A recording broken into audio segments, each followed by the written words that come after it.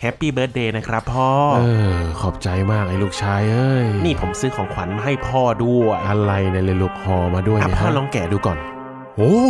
นี่มันสมาร์ทโฟนที่พ่ออยากได้นี่วะห้าพันครับพ่อ ขอจ่ายสด ฮะ ล้อเล่น วันนี้เลิกษ์งามยามดีมากครับ ผมซื้อของขวัญเป็นโทรศัพท์ ผมซื้อให้พ่ออัดเดียว พ่อลองจับ เฮ้ยพ่อถูกใจโทรศัพท์ใหม่อย่างจับพ่อเห็นเพื่อนพ่อเล่นเฟซเล่นไลน์พ่ออยากเล่นบ้างได้ไหมไอ้ลูกชาย เห็นเขากดแชร์กดโพสกดไลค์พ่อเคยเล่นของเพื่อนอันนี้เล่นได้ไหม ได้อยู่แล้วพ่อรุ่นนี้สบายสบาย แต่ว่าก่อนจะเล่นลูกอยากให้รู้กฎหมาย กฎหมายอะไรกันแค่เล่นมือถือไม่ได้ฆ่าคนตาย ก็พรบคอมที่เขาคุมเข้มกันอยู่ไง อ๋อพรบคอมลูกรู้เรื่องพวกนี้ด้วยเหรอ ลูกขอแนะนำคุณพี่ Rapper Lawyer สวัสดีครับ เรื่องนี้ผมรู้ครับคุณ father เดี๋ยวจะสรุปให้ฟังเรื่องนี้ผมอยากจะนำเสนอ หนึ่งคือการกดไลค์โพสต์ที่เราถูกใจ อันนี้กดได้ถ้าโพสต์นั้นไม่กระทบใคร แต่ถ้าเป็นโพสต์เข้าข่ายความผิดตามกฎหมาย กระทบต่อความมั่นคงสถาบันต้องระวังไว้ ข้อ 2 เรื่องแชร์ อันนี้ต้องดูให้ดี ถ้าแชร์ไปแล้วไปเดือดร้อนประชาชี ถ้าแชร์ข้อมูลเป็นเท็จหรือการด่ากราดสาดเทสี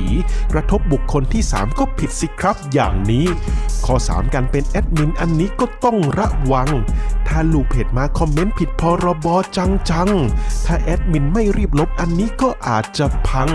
แอดมินต้องคอยสอดส่องเพื่อเป็นการป้องกัน ข้อ 4 นั้นคือสื่อลามกอนาจารอย่าโพสต์เผยแพร่สู่สายตาชาวบ้านประชาชนเห็นกันหมดแชร์กันไปในวงกว้าง ผิดกฎหมายเต็มๆ จับปรับกันบาน ข้อห้านั้นคือ การโพสต์รูปเด็ก จะลูกหลานใครก็ต้องยินยอมจากเด็ก เว้นแต่จะชื่นชมให้เกียรติเชิดชูความสำเร็จ จะโพสต์ต้องเบลอหน้าตรวจสอบให้มันเสร็จ โอ้โห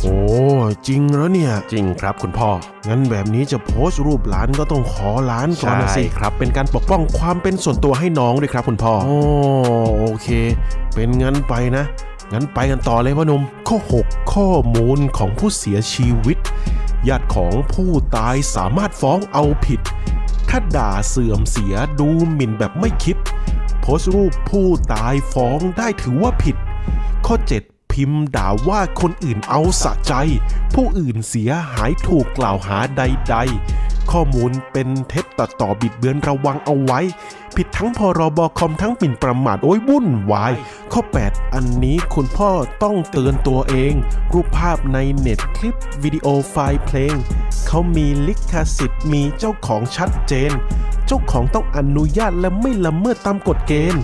อย่าพึ่งกังวลถ้าอยากส่งรูปให้ญาติมิตร สวัสดีวันจันทร์อวยพรวันเกิดให้เพื่อนสนิทก๊อปจากเน็ตมาไม่ได้หาไรายได้ถือว่าไม่ผิด ข้อ 9 เขาบอกแบบนี้มันไม่ละเมิดลิขสิทธิ์ ข้อ 10 แล้วพ่อจ๋าอันนี้เผื่อว่าพ่อชอบค้าขาย ถ้าพ่อไปฝากร้านคอมเมนต์กันแบบง่ายๆ ไปเม้นต์ไปโพสต์คนอื่นรุกล้ำพื้นที่กันวุ่นวาย ฝากร้านฝากลิงก์แบบนี้ในที่คนอื่นผิดกฎหมาย และทั้ง 10 ข้อผมเก่งมาแล้วว่าพ่อต้องรู้ มือถืออยู่ในมือพ่อจะโพสต์จะแชร์ก็ต้องตรองดู ผมบอกด้วยความหวังดี ผมไม่ได้คิดจะอวดเออพอไม่ได้คิดแบบนั้นต้องขอบคุณมากแรปเปอร์กูรูคนรุ่นพ่อตามเรื่องไอทีไม่ค่อยจะทัน ก็ได้ไอคนรุ่นลูกต้องคอยชี้แนะในทุกๆวัน บางเรื่องไม่รู้จริง ๆ ก็ได้รุ่นลูกมาแบ่งปัน อย่าเพิ่งเบื่อกันไปก่อนต้องขอบคุณมากที่ไม่ทิ้งกันนะ เออ ขอบคุณทั้งมือถือใหม่ความรู้ใหม่นะลูกนะ ยินดีเลยครับคุณพ่อ